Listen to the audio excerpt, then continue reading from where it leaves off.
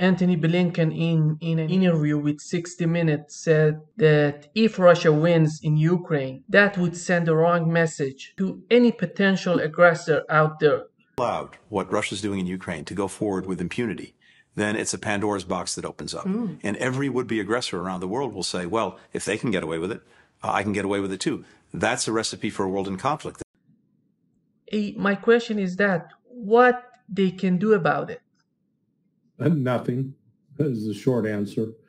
You know, um, Blinken and the United States, frankly, need to look in a mirror uh, because they keep projecting onto Russia what is the actual actions of the United States. The United States, not Russia, has been involved with uh, military invasions of dozens of countries over the last 30 years. So, but not Russia. One thing Russia has done is where there was unrest on its immediate borders, it took military action after it was attacked by in Georgia, and then after there was this uh, build up of forces in Ukraine, with Ukraine getting ready to attack uh, the Russian-speaking civilians in the Donbass last February. So uh, Blinken uh, it's always better for him to point the finger of blame than to accept responsibility for the, the United States' own failings. The U.S. politicians, they were talking for years. They were talking, Assad must go. Assad must go. He must go. Assad needs to go. Assad must go. Assad must go. Assad must go. We are still saying Assad has to go. Assad has to go. Assad has to go. And I'm confident that Assad will go. Assad must ultimately go. Our position on Assad has not changed that he must go. Assad uh, must go. That Assad must go. Assad should go. Assad will still have to go. Assad is a war criminal and should go. Assad is on his way out. Bashar al-Assad is finished. Our goal and focus remains an end to uh, Assad's rule. Say, well, what do he wants to do about Assad? Take him out? Well, um, uh, well, how, how are we going to do that? By fighting Assad, who turned out to be a lot tougher than she thought, and now she's going to say, oh, he loves Assad. She's just, he's just much tougher and much smarter than her and Obama. Yeah. I mean, it's, it's uh, you know, unfortunately, you know, the United States emerged from World War II as the most powerful nation in the world because it had not suffered any of the enormous, horrific damage uh, to both human life and to uh, you know cities, infrastructure that countries like Russia and China had endured. I mean, you know, Russia and China between them had like uh, close to 60 million casualties uh, killed uh, as a consequence of that war, and vast swaths of China and Russia were uh, were destroyed in, in, part of that war. The United States didn't have that. So you'd think that the United States would have had the good grace to have used its powerful position to promote peace around the world. But instead, it has become, uh, you know, very much the, the most aggressive nation in the world for carrying out military activities against other countries we have Politico is talking about Ukraine's plan if Russia assassinates Zelensky. Why would Russia do that? Because he's not popular inside right. Ukraine nor outside.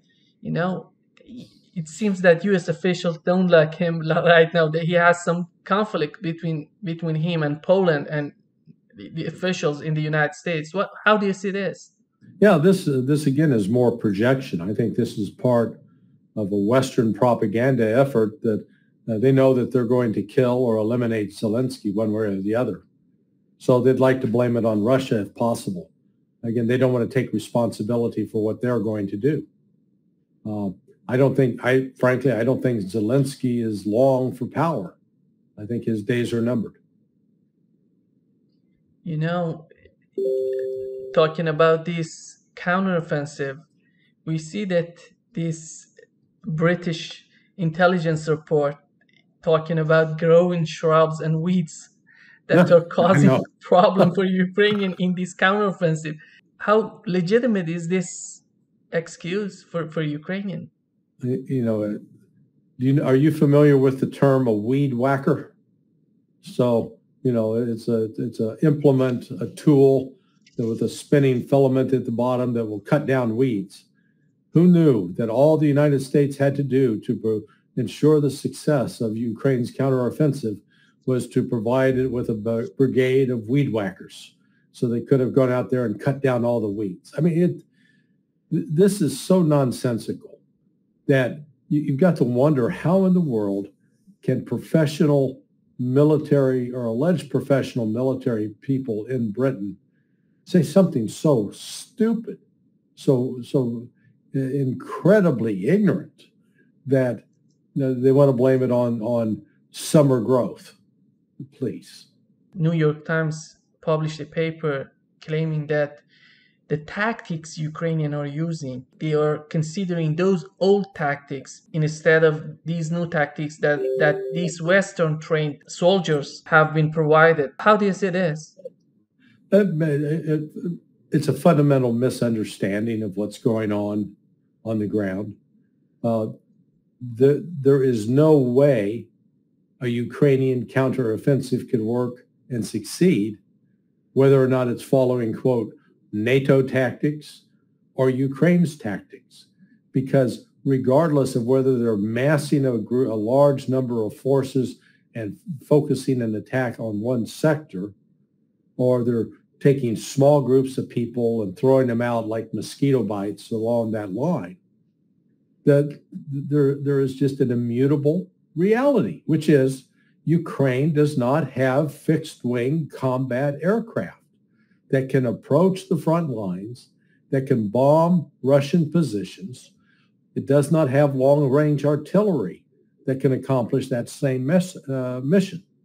And it certainly doesn't have any attack helicopters uh, because Russia shoots them down if they come within range. So without that, it doesn't matter what Ukraine does. It cannot penetrate the Russian lines.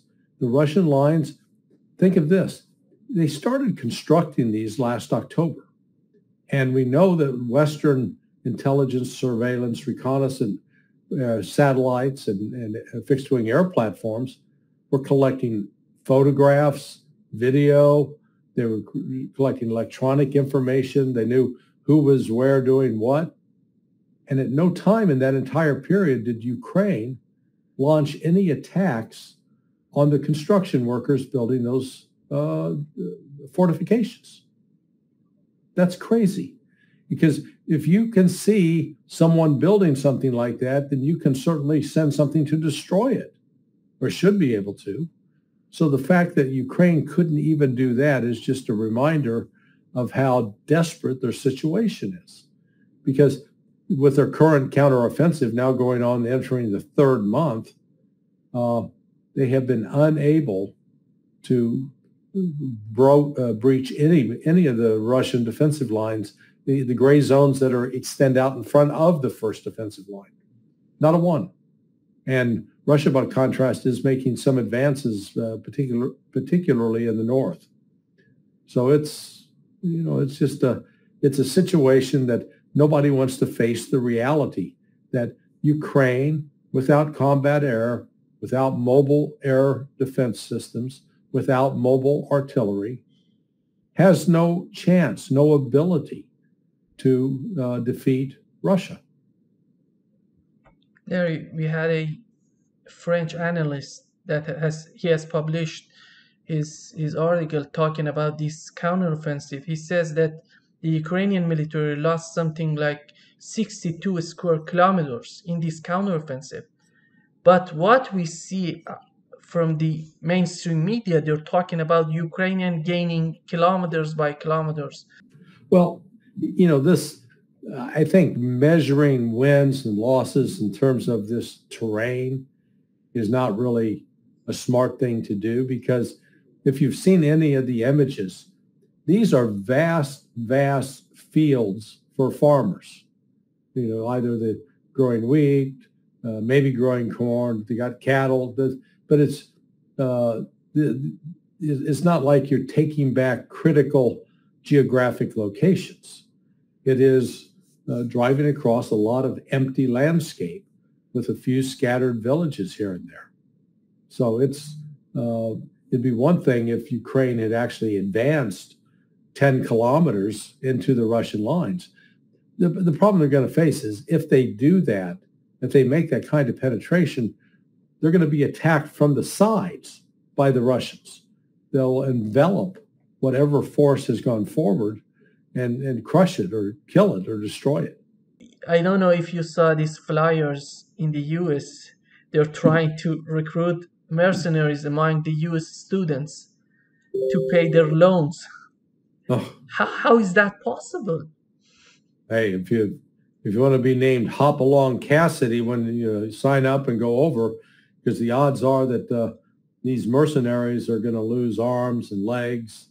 They'll come back with uh, amputations, and and for and for what? Uh, because Ukraine does not have the military power, the manpower, the equipment, the funds to sustain this war and to come out on top. We heard that from from an, an African leader. We heard that those those weapons that were sold to Ukraine were stolen. I don't know. They are appearing in Africa mm-hmm. right now, and we know that in Niger has happened a coup. How do you see these these geopolitical changes in Niger? Well, it's not just Niger. It's uh, uh, Mali and Burkina Faso as well have had coups of over the last couple of years. So, you know, with them being unlikely to get conventional military aid from the United States or even the Europeans, uh, they could very well be turning to the black market because there is an enormous amount of equipment out there that could be readily transferred and people get paid for it. We heard that Nigeria is sending troops to to confront this coup in Niger. Do you think? On the other hand, we heard that Wagner Group is signing a contract with, with this military in Niger. How do you see this this confrontation between Nigeria and Niger having this Wagner Wagner Group on their side?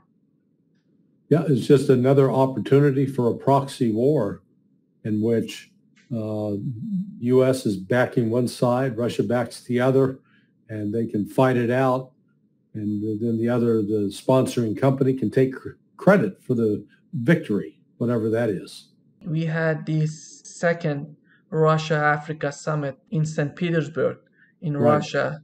That despite tremendous pressure from the West, they they finally they, it, it took place successfully. How important is is this summit for the United States, for the West? Well, the let's call it the summit competitions uh, is starting to demonstrate that we're in the midst of the creation of a new world order, a second world order that's outside the control of the United States and Europe. So uh, I can see certain countries begin to realign themselves. And uh, the influence of the United States in the Middle East is certainly waning. It's not increasing. So it's, uh, you know, it's a, it's a bad situation for the United States. White House stated the new U.S. military personnel is involved in combat operation in Ukraine. Is that right? If not, why they're why they're making such statements? Well, there are. Uh, I think there have been at least five, maybe six Americans killed in battle over the last two weeks, and um, you know, there it, it looks like none of them are of active duty. That they are all former military who decided to join up because they believed in Ukraine and wanted to help Ukraine survive on the other hand, we have this Ukrainian intelligence service that they're talking about. The head of this intelligence service said that the, the, the liberation of Crimea will not take too long. Yeah. how how how do you see this? They're totally detached from reality. How do you see this?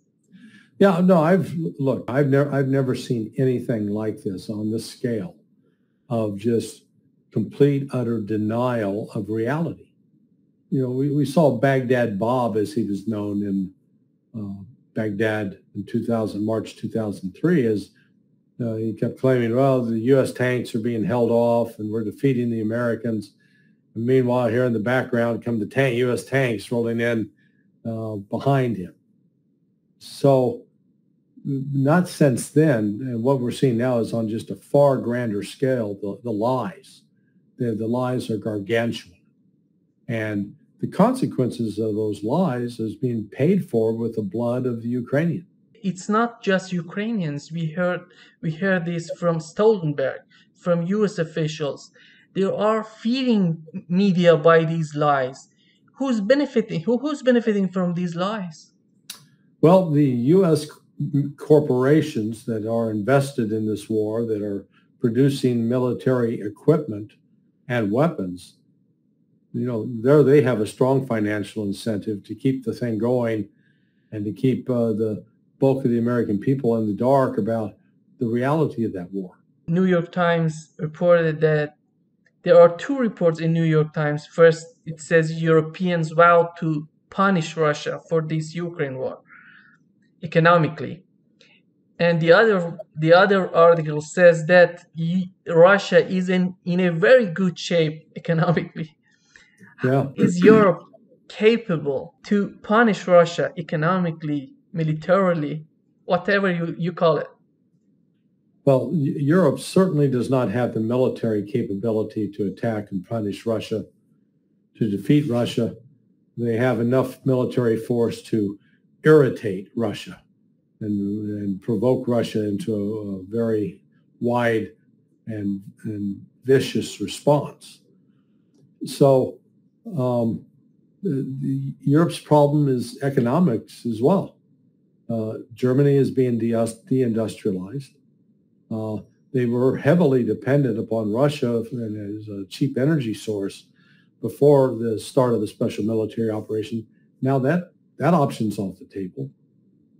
So it is. It's just. It's. It's. You watch it. It's, it's tragic, but uh, Ukraine is losing, and that that flip flop in Politico, where uh, in uh, I guess it was October or September, they're declaring, you know, the sanctions have worked and Russia's dying, and now they've come back out and said, "Oops, looks like Russia's succeeding." And what you see of the uh, the images of uh, a declining Ukraine and a soaring Russia passing each other. CNN reported that majority of the U.S. citizens are something like 55% of people are opposing more aids to Ukraine. And we know that a German newspaper called Welt is is reporting that Germany is slowing down the delivery of promised weapons. What we can get through these articles in Germany, in, in the United States, it seems to me that people in the West, in Europe, in the United States, are not happy with this war. More aid, more pouring weapons in this war. Right. Well, no, what, what you're seeing is the start of the fragmentation of NATO. You know, remember Joe Biden was expressing, oh, NATO's never been more united and NATO's never been more committed. Oh, yes, it has. It's not very united right now. And the political pressures in Germany uh, are going to explode at some point and force uh, uh, an about face uh, on the part of uh, German leaders uh, with respect to Ukraine. So, you know, you're seeing you're seeing it on a variety of fronts. That Hungary is also already raising questions. Um, I don't see any momentum developing that will put Europe into a stronger position, more able, more willing, more capable of providing Ukraine uh, assistance. Uh, I think the dynamic is moving in just the opposite direction. We have this conflict in Ukraine. We have now in Africa these mm. these problems in Africa, and we beside all these problems, we have U.S. is transferring arms to Taiwan to yeah. for the first time under Ukraine supply scheme. Why they're doing that? This is more a function of the U.S. House of Representatives who appropriates money. So do they wanted the, the Biden administration and congressional leaders have been wanting to send weapons to Taiwan. Uh, to sort of a way of thumbing their nose at the Chinese leaders. And this bill that was already through the process provided a, a, a vehicle that they would be able to use it to send some weapons to Taiwan while at the same time continuing support for Ukraine. So I think I think this has more to do with just the the the, the bureaucratic politics that are Uh, that dominate the U.S. Congress. I remember I was talking before midterm elections. I was talking with Jeffrey Sachs. He was so optimistic about the changes at that time that that were going to happen in the Congress. But it seems to me nothing has changed in Congress. How how, how do you see that? Yeah, no, no there's you there's no strong voice in Congress yet, either the House or the Senate, standing up saying we've got to bring an end to this war. Uh, we cannot afford this. We cannot avoid the risk. There's nobody of any substance or significance that's standing up saying we need to talk with Russia and we, we need to negotiate. That's not happening. So it's, you know, it's, it's a dangerous time simply because there is no room in the United States for that kind of political debate. Anybody who goes on air to suggest that we ought to talk to Russia is immediately accused of being uh, on the payroll of the Russians or a puppet of Putin or some secret agent for the uh, foreign foreign security bureau of Russia. So it's it's it's very very dangerous time in my view. We know that Saudi Arabia is inviting various countries to talk about Ukraine, what's going on in Ukraine. It seems they, they didn't invite Russia. And after that, I heard just yesterday that Brazil is not willing to send anybody there. How, wh- why they're doing this? If not, if Russia is not there, what they gonna solve? Well, um, I don't know why Russia was excluded. Uh, are some indication that Russia would not have attended in any event. But uh, pressure is being brought on Saudi Arabia to renounce its closer ties with the Chinese and with uh, and with Russia, and to go back and be very much at home with the United States. This case of Gonzalo Lira. Yeah, uh, it's so so. Everybody's talking about this. Scott said that he's a Ukrainian SBU asset. Yeah, that's crazy. I, I, so, if you're going to be an asset of the SBU, you're going to be doing the work that's going to benefit the SBU, correct? Yeah. Okay. What was Gonzalo Lira doing?